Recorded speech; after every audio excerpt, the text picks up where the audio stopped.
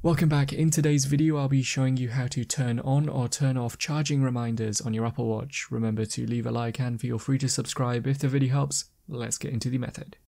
To enable or disable charging reminders, first open the Settings app on your watch and then scroll down and select Sleep from the list.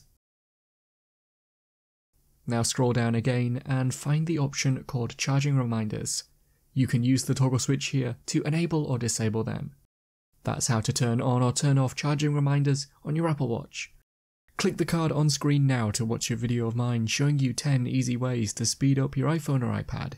If you have any questions, then let me know in the comments below, and if you did find today's video helpful, remember to leave a like and feel free to subscribe for more tips in the future. Be sure to stick around to see some of my other videos that you might be interested in. Thanks so much for watching, and I will see you in another video.